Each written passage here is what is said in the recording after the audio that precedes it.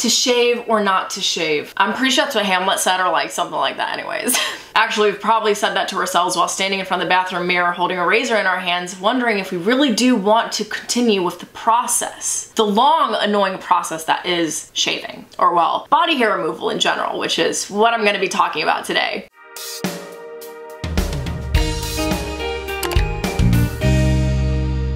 Guys, it's Sharon. Today I'm going to be talking about my personal experience with laser hair removal and an IPL, which is an at-home hair removal device. So these are the more permanent ways of getting rid of your body hair. So if you hate shaving, tweezing, threading, waxing, sugaring, this is going to be great for you.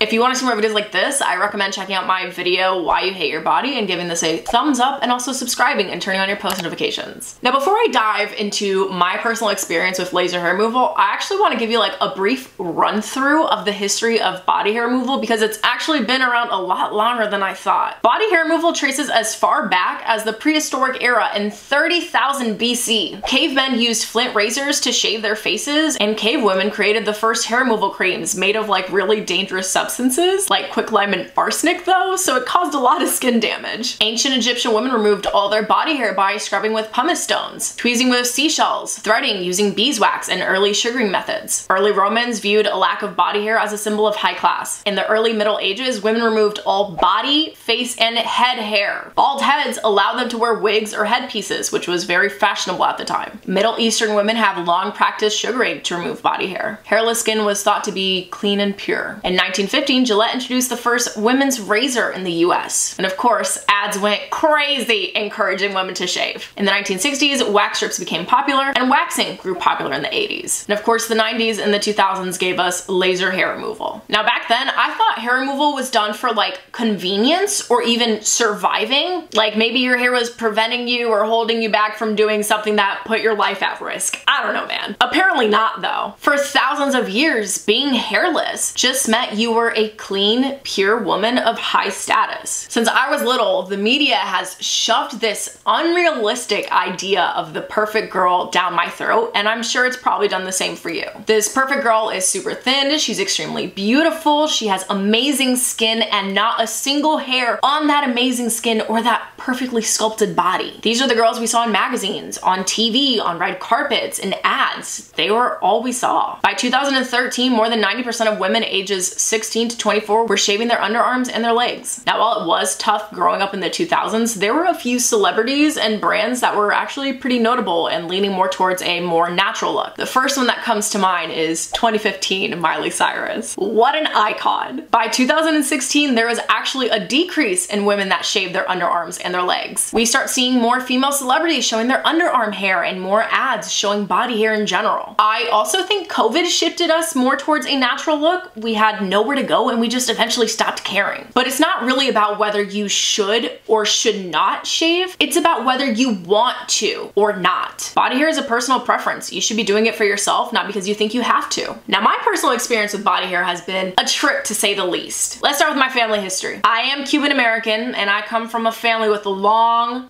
dark, thick hair, which honestly is a blessing and a curse, but I didn't think it was a curse when I was younger. This is gonna be a little bit TMI, but like I will never forget showing my mom my first underarm hair and my first pube and my mom absolutely freaking out and being so ecstatic for me. This meant that I was becoming a woman. I was going through puberty. That excitement quickly ended when I started middle school, much like most happiness in life.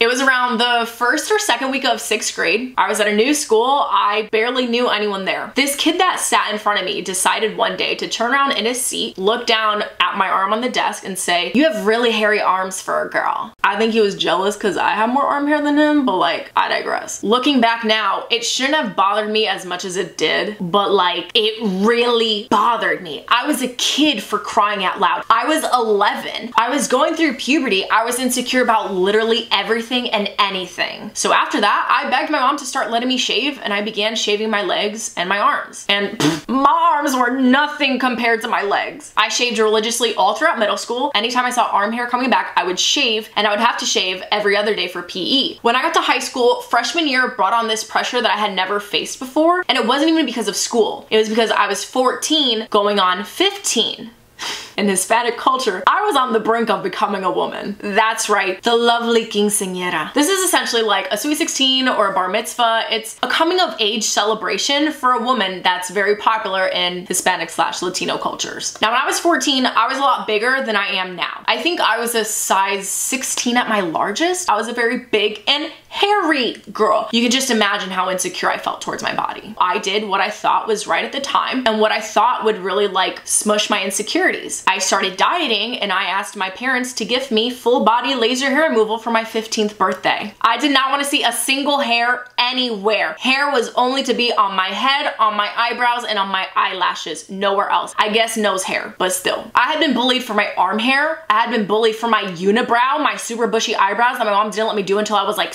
16. I was bullied for my super hairy legs. I was over it. Shaving was annoying and I didn't want to do it for the rest of my life. So I wanted zapped off of me and for good. And to be honest, looking back at it now, I don't regret it. I do wish it was under better circumstances and better reasons, but I don't at all regret getting laser hair removal. Before I get into the nitty gritty details about laser hair removal in my experience, let's first talk about the different types of hair removal. So the first one is depilation. This is removing hair at the skin's surface and it includes shaving and hair removal creams. Next, you have epilation. This is the removal of hair below the skin. So this is waxing and sugaring, a mechanical epilator, tweezing and threading. The last one is photoepilation. So this targets the hair follicle, just preventing hair from growing. Now before turning to laser, I've tried shaving, I've tried hair removal creams, I've tried tweezing and threading. I've yet to try waxing. It terrifies me. So that's the only one I haven't tried. Maybe I'll turn that into a video, me trying waxing for the first time, but not yet.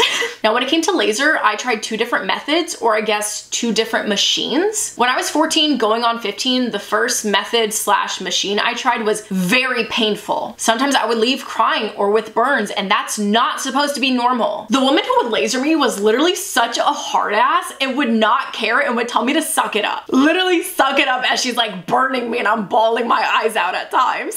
It felt like a rubber band on fire, constantly and consistently snapping at your skin. It was very dry and it was very hot, but it was effective. So I guess what they say is true. Beauty is pain. The company I chose decided to like split up my body parts to make it easier for me. Eventually I did kind of build a tolerance and it wasn't as painful, but there were some parts of my body that no matter how many times I got them done was still just as painful as the first time. And those areas included my underarms, my vagina, and my bikini line. I'm talking like imagine a knife on fire going deep into your skin over and over again. Not even the rubber band. Upgraded or downgraded depending how you want to describe it to fire knife. My upper lip was pretty painful too, but honestly since the area is really small, it wasn't that bad. So TMI again, but I do have more hair down there and under my arms than I do on the rest of my body because these were the parts I got done least. And honestly, I'm kind of okay with that. My biggest concerns were always my arms and my legs. And during the summer, my lower back and my happy trail on my tummy. Shout out to those Latina jeans. Now something happened with the company that I first started going to that kind of got lost in translation and I still don't completely understand. Like I said, they were meant to be doing my full body every time, but it was getting all so mixed up and just so disorganized. And again, I was leaving in tears and the occasional burn that I just stopped doing laser for a while until I found another company actually owned by my friend's mom. So I started laser again when I was about 17, 16, maybe 18. I'm 24 now and honestly,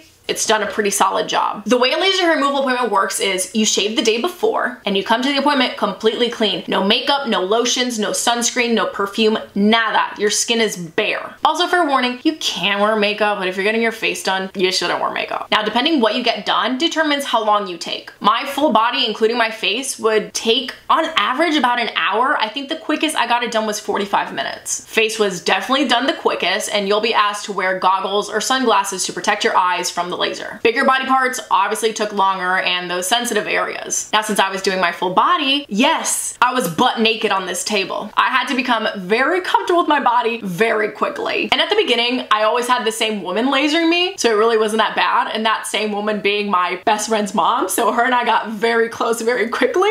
but after some time, she started hiring more employees, so like every now and then I would come in and it would be a different woman lasering my body instead. I think in total, I was lasered by three different women from just just this company. In theory, it sounds mortifying getting naked and laying on a table for a random stranger to laser my body, but it really helped to remember that this was their job. My coochie was not the first nor last coochie they would see. After your appointment, you should avoid sun exposure for several days slash weeks. This also includes avoiding fake tans. This actually goes for like before your appointment too. Laser is more successful if you have lighter skin but with darker hair. The laser works best when there's a greater contrast between the hair and the skin since the hair is what absorbs the light from the laser against your background skin color. But that's not to say if you're darker you can't do laser, it just might take a little more time. It'll typically take four to six sessions, again, depending on your skin and hair. I was estimated eight to 10 sessions. Each session is several weeks apart and I think I did mine every six to eight weeks or so. In between sessions, if or when you still get hair, you'll notice that it's a lot lighter and a lot thinner and it even may grow a bit more sparse. Now the second machine I used was so much better. It didn't feel as dry nor hot and it was actually cooling because she would add a cooling gel on the areas she was lasering. It was still a little bit painful, but it was truly nothing compared to that first super dry machine.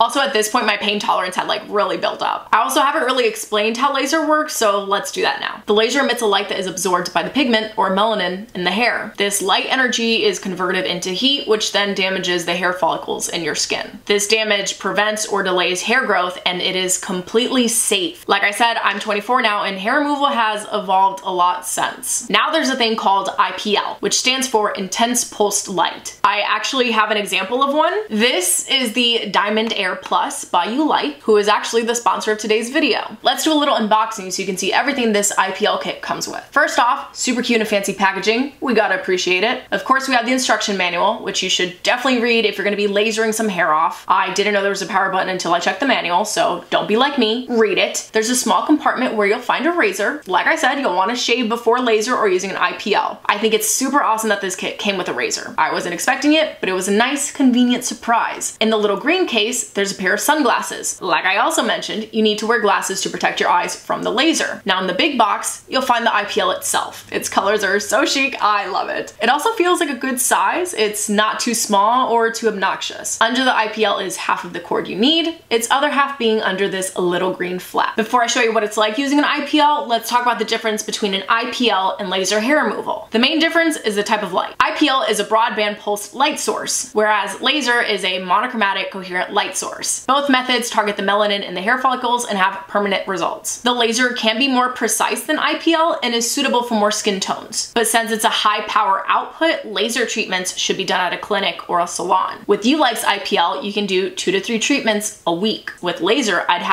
weeks between sessions. And if you're wondering, yes, doing it at home by yourself is completely safe. Ulike has over 30 international safety certifications and they're a top seller. Setup is super easy. You literally just plug it into the wall and into the device itself. This is the part where before you do anything else, you put on the sunglasses. The power button is on the side and it also works as an intensity mode. You would go up depending on your tolerance. Arguably, I could have started at two or three, but since I haven't done a hair removal treatment like this in a hot minute, I started at the lowest intensity level, just like a beginner should. Now to actually use it, you press the tip firmly against your skin. The light won't pulse unless you do. You can press this button once to zap a specific area or hold it down and glide it against your skin. I prefer to glide for bigger areas like my arms or my legs and press it on small areas like my underarms. Or in my case, areas that also don't have as much hair as they used to and in random spots. It's easy, quick, and surprisingly pain-free, which is easily the biggest pro in my opinion, especially